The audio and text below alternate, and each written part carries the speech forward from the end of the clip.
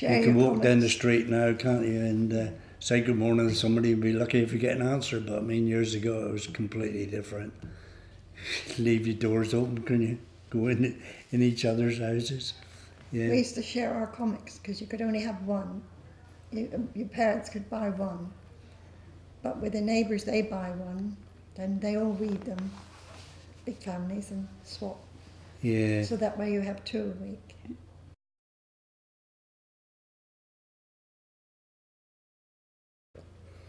I mean, I used to spend more time two doors down than I did in my own place, you know, because I, I was the only one. I didn't have no brothers or sisters.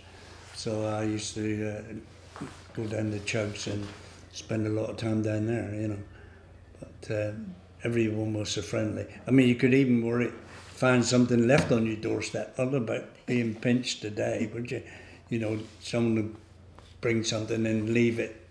Because you're not home. No because there was always a little cubbyhole on the side of your house, you know, where you sort of for, for, wiping your feet. So we used to leave the money in there for the milkman or whatever it was, you know. We couldn't do that today, could it?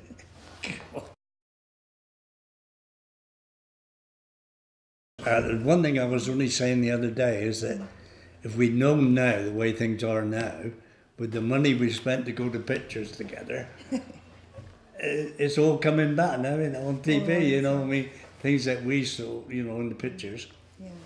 I mean, we've queued up for pictures at the Regal, which isn't there anymore on the Strand, and the queue's been right up through Theatre Lane, right up into High Street. Into High Street, isn't it?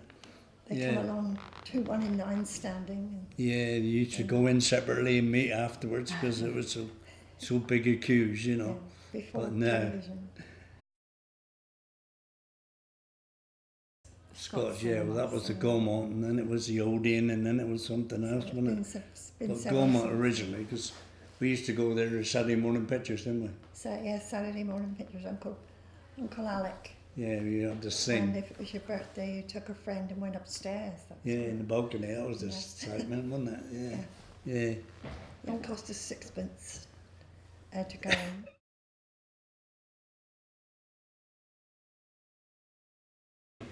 There was always um, a sort of a yeah. interest film, wasn't there? We had two films. Trailers for what was coming next week. Yeah. Then the B film, as they would call it, and the A film, you know, Pathe News. Oh, yeah. Pathe News, yes. But it was quite a big build up, really, you know. During now the, you're just going to see one film, isn't it? During the war, um, if your parents took you, or my gran and mum used to go to the pictures once a week, and if they thought it was suitable, they'd take one of us children along with them. But when Pathe News came up, if it was about the war, we'd have to go outside while they were showing, because they showed the Holocaust and everything, at, you know, the, toward the end of the war. But even during the war, we had to go outside while they were showing Pathe News because it was too distressing for children.